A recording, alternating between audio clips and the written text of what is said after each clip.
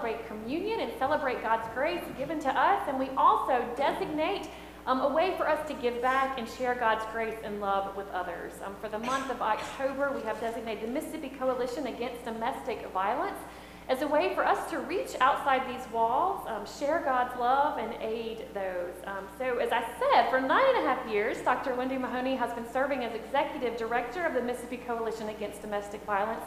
And I reached out to see if she would come share a little bit about that work and how our gift um, would aid them in that work and in our community. So um, I'm going to let you go ahead, and if we need to switch mics, I'll be sitting right behind. Okay. Good morning. Good morning. Thank you um, for having me. I really appreciate uh, the privilege and the honor to come and talk to you this morning. Uh, as uh, Reverend Flowers has said, I am the executive director of the Mississippi Coalition Against Domestic Violence. We are a statewide organization, and we have been in existence for 42 years. Uh, being the premier advocacy organization in the state of Mississippi, providing advocacy support uh, to victims and survivors of domestic violence we have 12 shelter programs for 82 counties. And I'll say that again, there are only 12 shelter programs for 82 counties.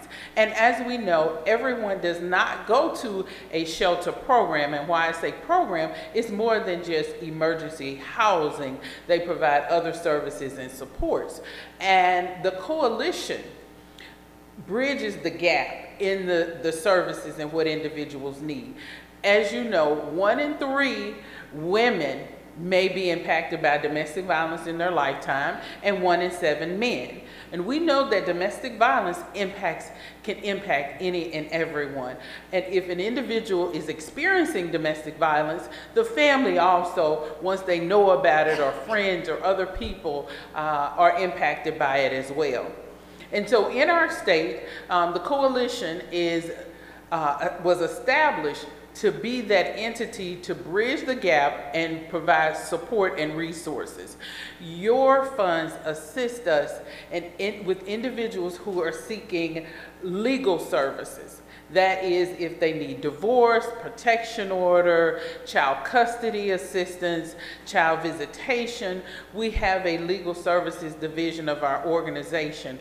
And to be honest, we started this program in 2017 and it is phenomenal. The number of people who contact us from around the state needing help needing a protection order needing someone to go to court with them.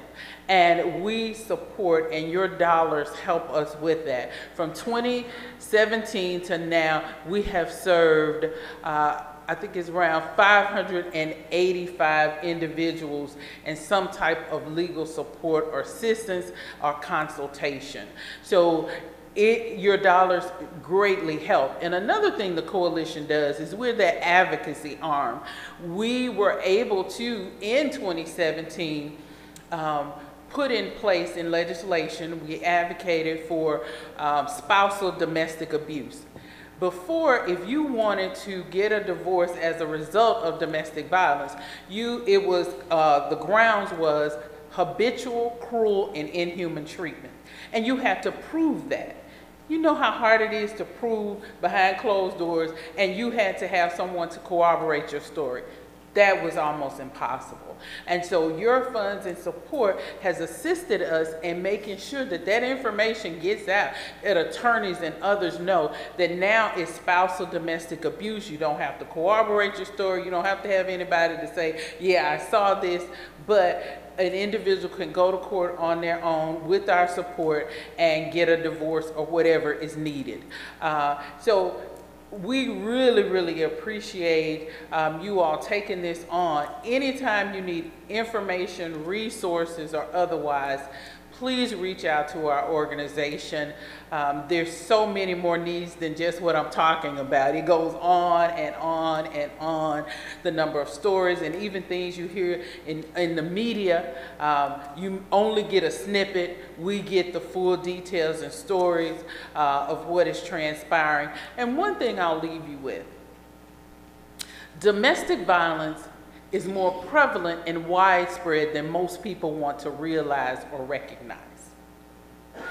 it, the impact is far reaching because it does not have a socioeconomic status, it has no educational attainment. Anyone can be impacted by domestic violence, no gender or anything. It does not have a face. It doesn't. So that's why it's more difficult. And that's why the resources are more greatly needed.